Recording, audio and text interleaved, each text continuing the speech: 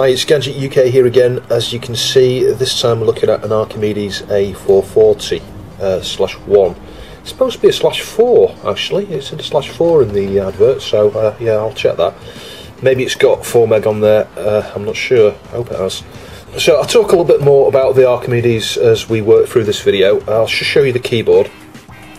Yeah, so the keyboard has seen better days, you know, it needs a bit of a clean up, and it's huge. This system is a lot bigger than I thought it was. It goes back quite a long way, um, and it's quite weighty. Oh, it weighs a ton. So there are quite a few different Archimedes machines actually. The 440 is probably somewhere in the bottom to middle end of the range. You know, following this, there were the sort of home versions. You know, the ones that look like, like a 3010 and a 3020. I think that look like. Uh, an A1200 sort of thing. You know, it's quite wide. It's got nice green function keys. Those are quite nice and they're quite desirable. And those have got the ARM 250 um, processor, which I think runs at is it 12 megahertz? I think it is. The uh, one inside this runs at 8 megahertz, as far as I understand. Um, and this is just an ARM 2. I think this has got an ARM 2 CPU. So after the 440, you had uh, things like the uh, the R140 um, that had the same amount of RAM and CPU, I think. Uh, it was classed as a RISC IX workstation. You had the, the 540, the 225, the 260, those were all ARM3, I think. Uh, and then the 5000, the A4, then the 3010, 3020 came along, you know, the ones I mentioned a minute or two back. Um, and those use the ARM 250 processor actually. The 3010 had 1 meg, the 3020 had 2 meg of RAM and an IDE disk, something like 80 meg or something, I can't quite remember now. And then the final one I think was the A4000. And uh, the 4000 I'm quite um, familiar with the internals of because I fixed oh, a good half dozen uh, back in the day. Um, they came in with a variety of faults. The most common fault actually was the keyboard failed, and I believe there was a, a fuse, an ICP, on uh, the motherboard there, and people would plug the keyboard in and it would blow the fuse, you know, if they did it while it was on. That's uh, another good reason not to plug things in while things are powered on. Um, and the other common thing with those was the, they had, I think, Conner IDE hard disks, I think, in that last model there, the 4000, and those used to fail a fair bit as well, actually. They were good drives, those Conner drives. I really like those drives. They got really good performance out of them, but, uh, like I say, in certain systems, they seem to be unreliable, and the uh, A4000 was one of them. So got a three and a half inch double density drive there, 880k I think or 800k it'll uh, accommodate. So very similar to the Amiga in terms of the uh, capacity there. And round the back, you've got uh, some uh, bays here that can be removed, I think, to accommodate uh, modules, the, the, podules, whatever they're called, on the back there, you know, so you can have uh, expansions and things, you know, that come out the back here. You can see it's got a sticker fitted here, Econet not fitted. So, like on the BBC, this was an optional thing, you know, you can decide whether you want the uh, Econet connection there or not. Uh, so, there's two high um, definition, well, not really high definition, high res um, connections here. I think the monochrome.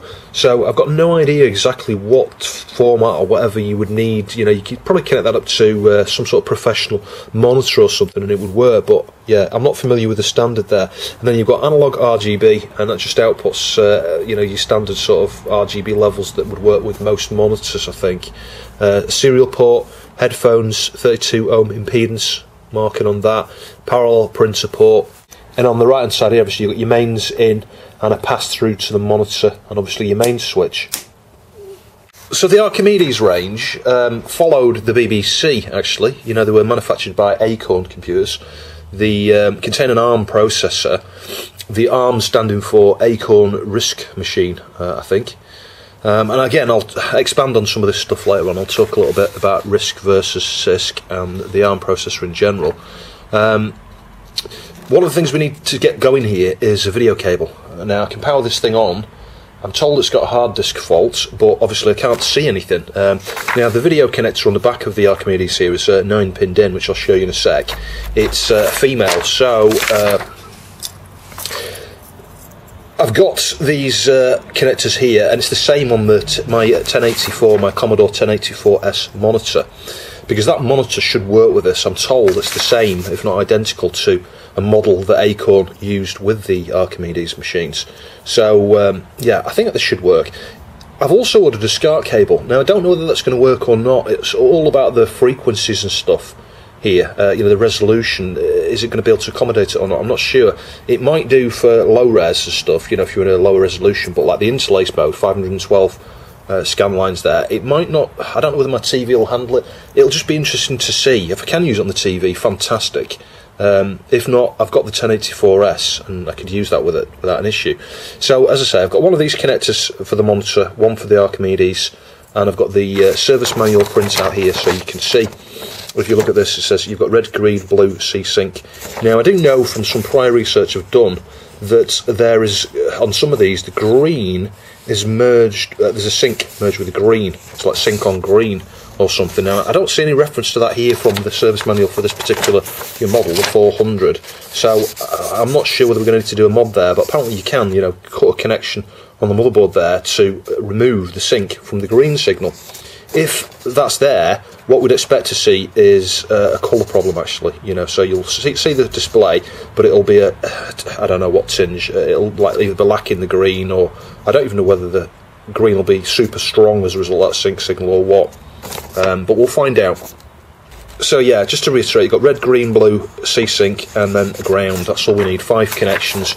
And if we look at the 1084S uh, pin out here, we've got ground, ground, red, green, blue, composite sync. Now I did a mod to mine because mine would not accept composite sync. The pin was actually disabled on the socket and some links and things had never been installed as if mine was only ever designed to work with the H and V. But I put a little PCB in there. Uh, I covered in, a, I think it was part four of the repair series on my 1084 S monitor there to uh, take the composite sync input and split it to H and V internally inside the monitor. So yeah, it should work hopefully. Um, everything there is pretty standard, you know, 0.7 volt peak to peak, 75 ohms. Uh, the sync 0.3 volt peak to peak. So yeah, it's kind of standard stuff. I would expect, hopefully, it should work. You know, and again, like I say, that matches what you've got here. Yeah, I think the sync will be okay because the Archimedes is saying they're not less than 0.2 volts sync low, above 0.3 volts sync high. So I think we should be okay. So we'll start with the Archimedes end. You aren't going to be able to see this because it's super small, but indented on the plastic here, I can see one, two, three from right to left there on the top. So that corresponds with what we see here on the diagram. So I can just wire it the same way. That's super easy. Um, the wire I've got here, this is uh, a load of wire I ordered, and I'll cut uh, probably a metre off. I'm not going to need very much, maybe not even a metre half metre. It doesn't need to be very long for this. Um, and you can see I've got uh, five, hang on, four, five, six cores here, I think. So I've got red, green, blue, which I'll stick, you know, use for the colours, red, green, blue, that makes sense. You've got a ground over there, black, so I'll use that for the ground. Um, I'll probably join the white up to the ground as well, so there'll be two connections to the ground there, because this has not got shielding it would be better if it was, uh, you know, had shielding, but it's going to be pretty short, like half a metre or a metre or something.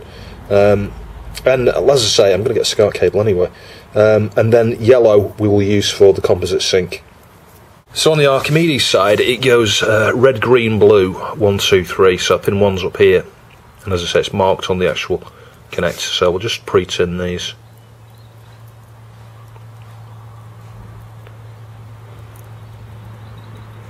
There we go. All I need to do now is carefully join up uh, the red, green and blue. There we go, that's the red, green and blue, so just the ground and the sync now. So that's the Archimedes end done. I've got some uh, plastic uh, hoods coming for these because I've not got any at the moment and you can put them on afterwards, that's the good thing with these. Not like uh, DINs where you've got to uh, slide the thing on while you, uh, or before you solder. So we'll just score that around the outside. Yeah, slide that off. You can see we've got those uh, free now. And uh, we'll do the same thing. We'll start with the red, green and blue. So we'll just pull the red over. It's the same sort of thing. You can just score the end just very carefully there with the snips. And then just pull the covering off. Twist the strands around each other, tin it up. Rinse, repeat for the other wires there we go. So both could be a bit tidy with some heat shrink, and as I say, it should be shielded. But as you can see, it's not very long. It's like half a metre, if that. So uh, I think we'll go and give it a try now. Oh yes. Now before this, it was coming up with just a supervisor prompt. I'll just switch it off and on. We'll just see if we can recreate it. And I think it's because there's no batteries in there to hold the CMOS settings. I'm not sure. Let's just see what happens. See if it boots or see if it comes up with a supervisor prompt. It's going to boot, I think. Yeah, that's booting.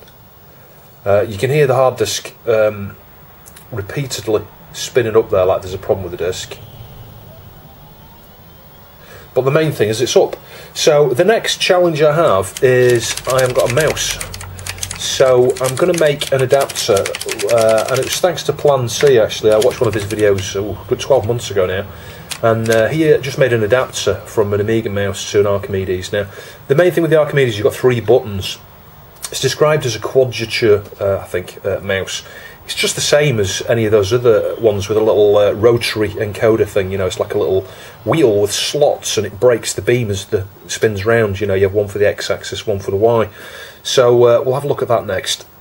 So now we've got the display working, I'm going to uh, have a go with this mouse. Now, as you can see, uh, this is one of these switchable ones. It says there MS AM PC AT. Um, now you'd think that meant MS Microsoft, PC is in PC, AT. I'm not sure. The AM AT I think is Amiga Atari actually, because I remember using this on the Amiga it was severely, severely yellowed when I got this, and I retrobrighted that, and it's uh, yeah, it's been fine ever since. It looks brand new.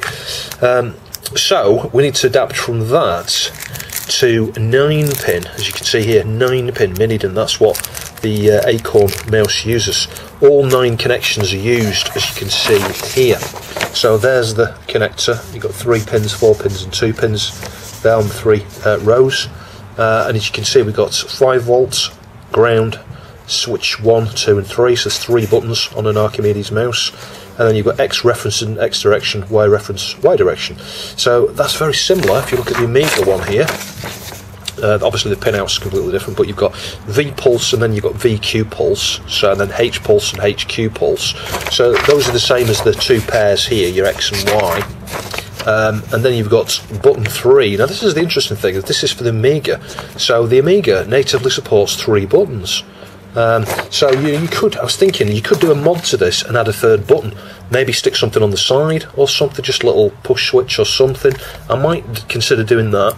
And I might, uh, well, it's not going to get passed through here, that's the problem with that. Um, but what I was thinking is just having a fly lead coming off with a, a button, an extra button, and I'll add it into the adapter. So the adapter, as I say, is going to, you know, it'll route button 1 and button 2 as normal, so that they work here I have a button 3, like I say, I'll have a wire coming off the adapter with a, a button on it, so I can at least, it'll be a bodge, at least I can use the third button though, that's, that's the main thing. Uh, at some point I'll get a proper mouse for this or something, I'm not sure, but I just want something to get me up and running. Uh, so yeah, continuing on, buttons, 5 volts, ground, button. So it should be straightforward to do. I just need to adapt from that to that and have an extra button in there. Now, bear in mind, it's only going to be a fudgy adapter. This I'm going to make it super short. It only needs to be literally about that long or something, or even less. You know, sort of like that long. One connector going to another connector. It really needs to be that short. Um, and I've only got six core cable here. Again, I should be using something shielded, but you know what? For something like this, it's going to be fine. Um, so I think what I'll do is cut a piece like that off there. That's going to be the length of the adapter. Because I've only got uh, six cores, I need nine. I'm going to cut the same again, I'm going to strip out three of the wires out of this extra piece and then I'll encapsulate the whole lot with some, some heat shrink so that I will have nine wires. Total fudge. But uh, you know, yeah, you should expect nothing more than fudges from my channel. Just you know, just quick and easy ways of getting around problems like this. Uh, but you could do a better job. You could get. In fact, I've ordered some. I've ordered some nine-core cable actually that's shielded. So I could just redo it, but as I say, I'm not going to use all of. You know, it's not going to be that thick. It's going to be that thick with three of the cores out of here. What I'll do is just, uh, I'll do this now if I can. I'll just show you. We'll just strip this back. One of my neighbours is going crazy with his sound system. He's actually a DJ. Um, surprisingly, it's a number of doors away, and I can hear him. I've got no doubt it's going to be one of those evenings tonight where He's playing music till 3 a.m. I've got a good mind to go around and switch his blooming mains off from the outside of his house. Yeah. Yeah, don't do that. end up in a fight or something. So let's uh, just pull three of these out here. As you can see, they come out. So yeah, I'm going to need to be mindful of the colours here, but bear in mind that's not going to be hard to do because they're outside here. So I'm not going to get them mixed up while I'm, uh, you know, routing them. But I'll, like I say, I'll put them like that, and I'll put some heat shrink over the lot, encapsulate it all, and it'll look tidy. You'll see. It's it is a bodge, but it'll look tidy. One thing I found, if you switch this off and on a few times, you can get the hard disk to stay on. So I think the hard disk has just not had enough use in the period of time it's been sat in storage. One of the motors is struggling or something. We can have a look at the hard disk later. I might even, if I, I might just go inside it at some point and have a look. But we, you know, we can replace the caps. There might be some caps and things on there. Some of those old MFM and RLL drives have got resistors that can fail on them as well, actually. Um, but we can look at that later in another video.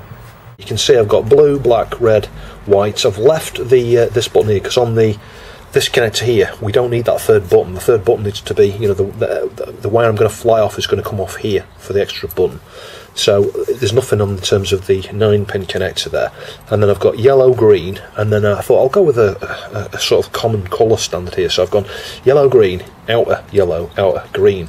So those are the ones that are on the outside as you can see here, I've got uh, the green and yellow on the outside here. That just means like, so for the horizontal, it's yellow, on the pulse and it's uh, on the HQ pulse and it's yellow on the H pulse. So the worst case, I can just swap the yellow ones around and swap the green ones around, forget it around the wrong way. Um, but in theory, that should be okay now. So let's say I've slid my piece of heat shrink. I've got enough wire here to be able to, to deal with this. Um, I need to, oh, where's it gone now? Little connector. Yeah, the problem we will have is this needs to go over the top of the heat shrink here. So I might just cut this down because it doesn't need to be quite that long. Um, I just need to just pull this housing apart here, if I can. But yeah, you get the idea. I'll probably cut it back to about here or something so I can slip this on here. And then uh, I might even shrink this here, actually, advance so I can slide it in under there. That might be an idea. Yeah, so I'm going to shrink that now actually. It's just going to make it a bit easier to assemble I think and you can see I've cut it back a bit. It's not quite as long the heat shrink as it was. But I think that should be okay. Good grief, some serious thought is required to be able to assemble a cable this small.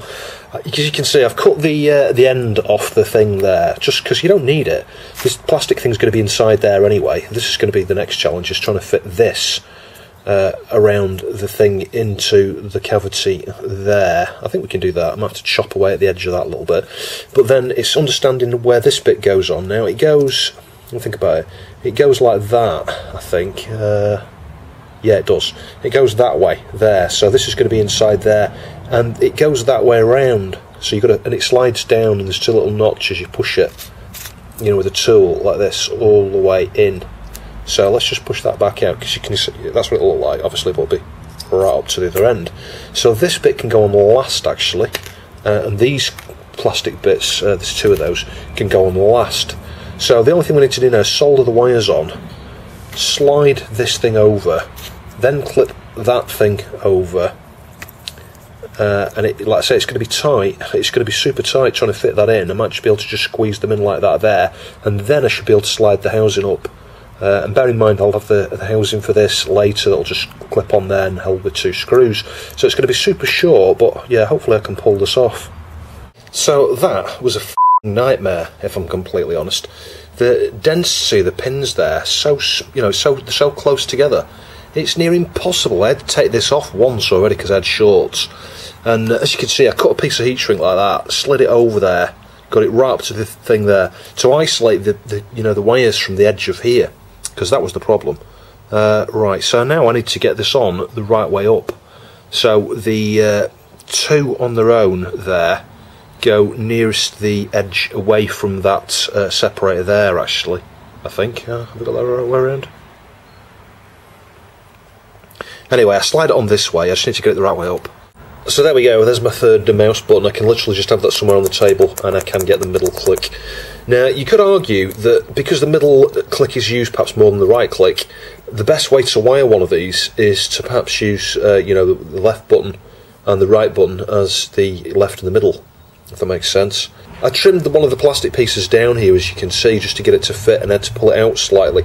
Um, so yeah, it was a bit crazy having such a short lead here. You know, if you're going to do something like this yourself, go with I don't know, quarter of a meter, half a meter, or something. Just makes it a bit easier. Still waiting for the housing for this. I think I might have one somewhere. I might go look for that in a minute. But uh, yeah, let's go plug this in and give it a try. So I'll connect this up. It goes with the two pins at the bottom. Got to be super careful. There we go. That's in. Yeah, you've got to be super careful. You can see this is the benefit of having a longer lead because obviously you have more flexibility there. But let's give that a try. Now the interesting thing here is the hard disk started working and I thought it may do. It was one thing I thought while this was on transit to me actually. A common issue with these old MFM and RLL drives, uh, and even the SD ones to a degree, is when they haven't been used in a long period of time. You find that, that something happens to the motors. I don't know whether the contacts um, like commutator. I don't know if they've got commutators or brushes. I'm not sure. They're probably a different type of motor, but nevertheless, the contacts in there kind of get a bit of oxidization. You can find that these things they'll spin up. You know, and it starts to initialize, then it fails, and it powers back down, and then it spins back up. And if you repeat the cycle a good, you know, a few dozen times and leave the thing powered for a little bit, you'll tend to find that after a period of time it starts working, and it starts working reliably. Uh, and that is the case with this. It's uh, been tested a few days running now, and it's been fine every single time as you can see if I access the hard disk there. It's a bit slow but as you can see we can access the hard drive no problems at all. So yeah that's a pleasant surprise. In the next video I think I'll uh, you know I'll disassemble the thing we're going to need to disassemble it anyway I want to show you some of the internals and things but there is a problem with this there's no sound I've uh, noticed and there's no, it's not coming out the headphone jack either so we do have a fault um, but nevertheless, yeah, the hard disk is working. As you can see, the mouse is working. And if we were to go over uh, one of these icons here and press the middle button, you know, this is our special button here. I can show you this actually. See if I can show you this. Move the cursor on the hard disk and I press the middle button. There you go. You've got that. So yeah, I mean, it does mean you need to use both hands while using the mouse, but uh, it's uh, totally workable. Yeah, I shouldn't be using this on the carpet. It's a bit rough, uh, but nevertheless, it is working. And if I go into the sound thing, I'll just show you. If we load configure, uh, sorry, I know we're zoomed out a fair way here. So you've got uh, where's it gone? Sound there. What's that error? So we've got an error there. The other thing I've noticed, and that could be related to the uh, CMOS actually. Uh, I found when you get these errors like this where things don't seem to work properly, if you switch it off and on, hold down, uh, what is it, delete. I'll show you in a sec which delete key power it back up. I just watch the colour. Watch it kind of go reddish, I think. There we go. That shows you initialising the CMOS settings. We'll probably need to add the hard disk again as a setting once it boots. Because it probably won't pick it up as default now we've cleared it, I think. I'm not sure. Let's see. Yeah, see, it's not showing the hard disk now, but if we go to apps again, uh, we'll just try that again. I'll just show you the sound thing, hopefully, shouldn't error.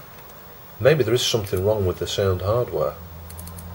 Yeah, you see, look, that was error. That was error before. No, it's not. Um, yeah, so that's one aspect to that. But trust me, there's still no sound, despite having done that.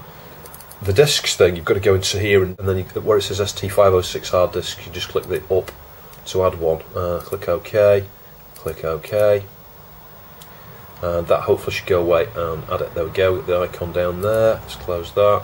Close that and as you can see that's working in fact that came up quick you know so yeah uh, I do need to uh, do something with the CMOS side of things on here it's perhaps lacking a battery so the next thing to show you uh, I've got a copy of uh, Elites here so I'll put that in now there were two discs that said Elites that came with this and uh, one of them didn't read it just wouldn't work at all you can hear that's reading the drive okay it's a bit slow but there we go and if we double click on Elite, wait for it to appear down here. Yeah, that's loaded, and click the icon. Copy protection, just press return. As you can see, that's working, but there's no sound, as I say, and I've tested with headphones as well. There's just nothing. So I think we've got a fault there. We'll have a look at that in the next video. But the next thing was to try and get some other software on here. Uh, and I'll show you the process in a second. If I just take that disk out, we'll do a reset. There's a little reset button on the keyboard. That should reset it. Um, this copy of Elite wasn't working; it was corrupted completely. So I thought, well, I'll use this disc. So I'll show you on a, uh, an old PC that's got a floppy drive, um, not a USB floppy drive, and it's got to be an oldish PC that's got the old, the original sort of uh, floppy interface there. I'm using my old uh, Pentium 2. Um, and there's some software called OmniFlop, and you can, uh, you know, the, the, ADF images for this, you know, the disk uh, archive images, if you like, you know, the equivalent of ISOs, you know, for Acorn discs. .adf um, is the extension you'll see on those for use with emulators and stuff. You can write those using OmniFlop um, to a floppy, and I've just done that with this one. If I stick this in, this has now got uh, Pacmania on. If I just go to the floppy drive should see, there we go, Pacmania. Now, I, have run this a minute ago from the disk and it works fine, but I thought, why, while we're here, why not stick it on the hard disk? Um, and I can show you something else. These usually ship with a 20 gig, uh, sorry, 20 meg, no, not gig, 20 megabytes. That's it, 20 megabyte hard disk. So if I uh, just, oh, sorry, cat's walking in the way. If I just press the middle button on the hard disk down, we choose free. You can see there, free 17 megabytes. Sorry, that might be a bit far away. That yeah, you can see 17 megabytes free, used 22 megabytes size, 40 megabytes. So I'm pleasantly surprised it's got a 40 megabyte hard disk, not the standard 20. Um, the other thing we can do, because I was a bit concerned, is, is you know, it, it, on the front it says 440 slash 1. I thought, have I been conned here? Because it's been described as a 440 slash 4. And if we uh, middle click on uh, the acorn icon down there and do info, hang on, let's do that again. Info, there we go we can see uh, it's 3.10 sorry that's not what I was looking for. I was looking for the RAM. I think you just click on here. Yeah you do. You just click on the acorn icon. And you can see up here uh, next 6 foot K free 3 meg. And if we scroll right down to the bottom we've got total 4096 there. So yeah it is the 4 meg version. That's nice. Um, but yeah coming back to what I was saying why not uh, create a folder on the hard disk and copy that game across now let's just try copying just that icon across to here.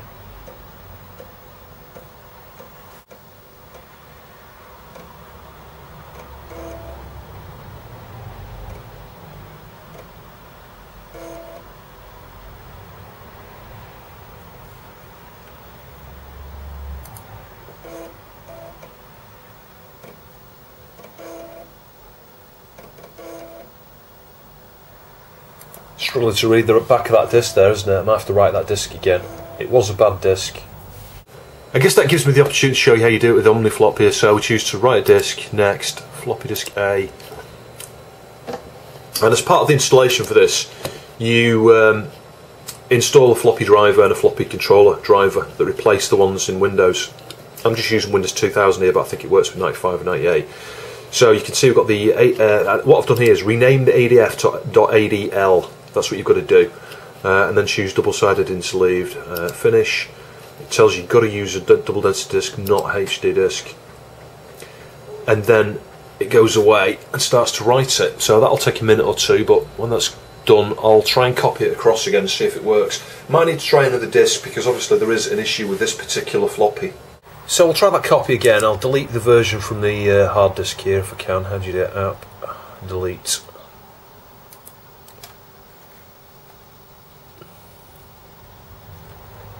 So it's gone from the hard disk and we'll just drag it across again.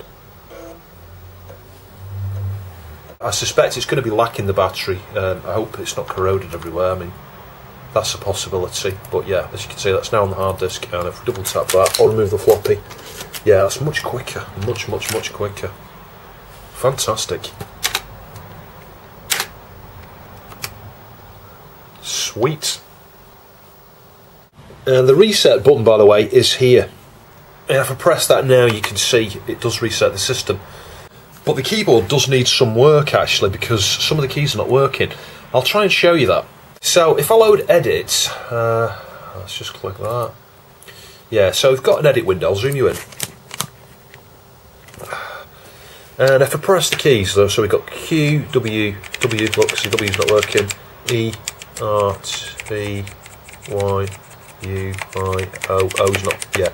O was not working earlier, but after a few taps that seems to work now. P, A, S, D, D's not working, F, G, H, J's not working, K, L. Yeah, some of the characters there are not working, symbols and things. So yeah, I'm going to strip the keyboard down next, I think. So to get in the keyboard, it looks like we've got screws all around the edges here. We'll get those out. And then presumably, yeah, that just lifts off. So uh, yeah, that's interesting actually. Just looking at this, I didn't expect this at all. The PCB to look this way. Um, anyway, there's going to be loads of little screws here. You can see we're going to need to remove next. Uh, and I'll do this carefully because I'm not sure how the keys actually work here. It may well be they've got those little rubber plungers under each one, and if you're not careful, they can just fly out everywhere. So that's all the screws out. So very carefully lift this up, and yeah, we've got. Oh, you can't see here. We've got a ground connection just down here. I'll just move across. Can you see that? So I'll just carefully slide that off. There we go. So we can move that out of the way. So you can see the problem here these just need cleaning up. Obviously, got lots of dust and fluff and stuff. But we clean the uh, PCB up there with some IPA and cotton buds. I'll do that in a second. Uh, and this is super interesting. I've never seen a keyboard like that before, actually. Can you see that little silver contacts there? So again, you know, you can see bits of fluff and dust and stuff. Um, uh, yeah, my first thought was to vacuum that, but you might end up sucking all the little silver bits off. I'm not sure whether they're just sat on there, whether they're attached to anything or what. Presumably stuck to the underneath of the key. Yeah, I think they are. So yeah, you could probably uh, gently vacuum over that, I would I suspect, but yeah, not with the vacuum too powerful. And then clean over them with IPA and cotton buds, and we'll do that in a sec.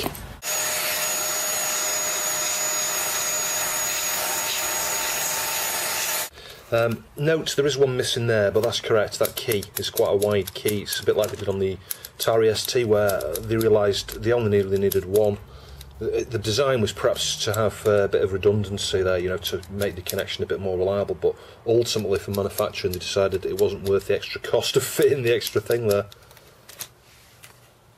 So we'll do the plungers first. Uh, I'm just going to test this with IPA. Yeah, it should be all right, I think. Uh, and just gently wipe them and then use the dry end.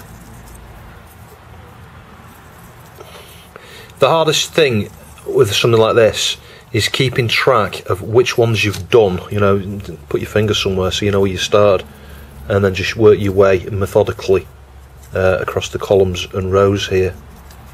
I should have started in the bottom corner really, it would have made more sense.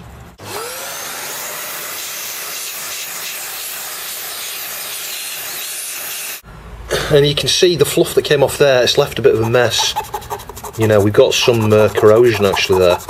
So I'm going to go over that with the fiberglass pen actually. The other thing I might just do is just gently wipe over that with some deoxit and I'll inspect it just to make sure I've not got any broken connections there. I've inspected that quite closely and it's okay, it's just dark grey, uh, there is still a sufficient amount of solder there so that's okay. So if I zoom out a little bit, and uh, well, I'll zoom you in on one of the bits of dirt or something down here. We just need to go over with a cotton bud and some IPA, and again, we might need to use the fiberglass pen. Can you see that's not coming off there? Um, or we could use deoxit. Um, I don't think these are silver plated or anything. I don't know. They're coated with something, aren't they? Nickel or something. So you, you've got to be careful. Yeah, some of this here is corrosion. I don't think you can see. It's like some corroded traces. So I'm going to need to scratch the surface somewhere on here, I think, and uh, fix that trace.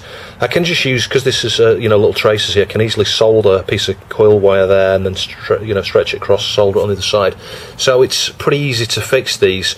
But I think in the most part, the reason these aren't working, just tilt you across a bit here, you know, back to this one, it's these bits of contamination. They're going to need scratching off. You're going to have to use or I'm going to have to use the fiberglass pen there on those little bits to try and uh, remove them. Otherwise, the um, little silver plate, you know, when it, makes contact, it's not going to make a nice, reliable connection.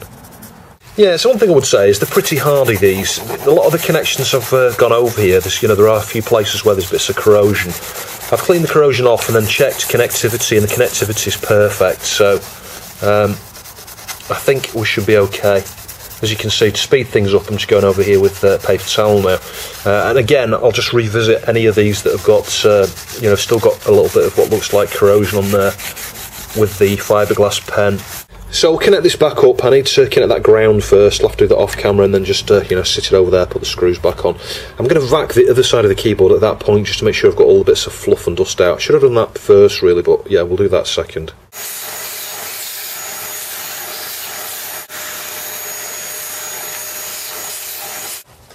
So I might strip this down and clean these keys individually at some point, but uh, just for now, I'm just going to go over with soap and water and stuff. You know, you can see the dirt coming off there. Yeah, I can still see a few marks on the keyboard. I've got most of the marks off there. As you can see, it's looking a lot better. There's still an awful lot of dirt on the keyboard there. Um, what you can do is, you know, when we disassembled it before, there was some screws holding the actual key key assembly into the plastic shell. So you can just remove the screws there, and then this plastic piece can come off, and you can get to the keycaps a little bit easier as well. Um, I could just pull them all off and stick them in the sink and oxy action them, but just I just wanted to do something quick, just quickly clean this up, so that I can move on to other things, and we can perhaps revisit the keyboard. So I got the keyboard all connected up again. Let's go back into uh, edit again. Q W E R T Y U I O P bracket bracket backslash return. Yeah, it's working fine now. I think. Yeah, those weren't working either before. We had a, bunch of symbol keys and things, it's just not, you know, not doing anything. Yeah, sweet. Just test the number pad. Yep. Call that a success, that's an unlock. Yeah, brilliant. The main thing is it's working now. We've got video, and we've got a mouse. Uh, and as I said earlier, perhaps the best way of doing something like this, I could have modified this mouse and added another button somewhere. You know, I could have maybe cut a piece out here and stuck a button there, or stuck a button on the side or something, you know, uh, for the third mouse click. But uh, yeah, it just means that I've not interfered with the mouse. I've not altered the uh, the arc in any kind of way. I've just got an adapter that I can use, and I can gain that third button. So in the next video we'll clean up the floppy drive, uh, have a look at the motherboard, obviously we need to get the sound working because this is lacking sound at the moment. Maybe have a look at the power supply, clean up and stuff in general around the case and the board. Um, and maybe share one or two of the games and things. I do hope you found the video interesting. Please like, share and subscribe and I'll catch you in the next video.